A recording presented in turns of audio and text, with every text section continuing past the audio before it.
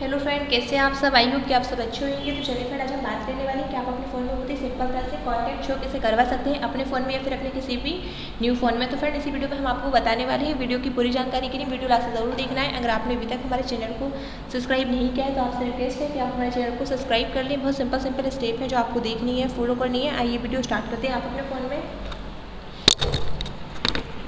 Contact show करवाने के लिए सबसे पहले आपके फ़ोन में आपको एक एप्लीकेशन देखने को मिल जाती है कॉन्टैक्ट नेम से आप सबसे पहले उसको ओपन कर लेंगे। इसको ओपन करने के बाद में यहाँ से आपको इस तरह का इंटरफेस देखने को मिल जाता है। तो यहाँ से आपको आईडी पे क्लिक करना है। आईडी पे क्लिक करने के बाद में यहाँ से आपको काफ़ी सारी आईडी देखने को मिल जाती है, जिसमें से यहाँ से आपको एक आईडी सेलेक्ट करनी है, जिस आईडी में आपके कॉन्टैक्ट होते हैं, इस तरह से सेलेक्ट करने के बाद में यहाँ से आपके फ़ोन में जितने भी कॉन्टैक्ट होते हैं, वो आपको यहाँ पे सारे शो होने लगते हैं। तो इसी के अकॉर्डिंग आप अपने फ़ोन में कॉन्टैक्ट शो करवा सकते हैं। आई होप कि आपको वीडियो अच्छी लगे। वीडियो अच्छी लगे तो वीडियो को लाइक करें शेयर करें चैनल पर नए हो तो चैनल को सब्सक्राइब करें। मिलते हैं अगली नेक्स्ट इंटरेस्टिंग वीडियो के साथ। तब तक के लिए बाय एंड टेक केयर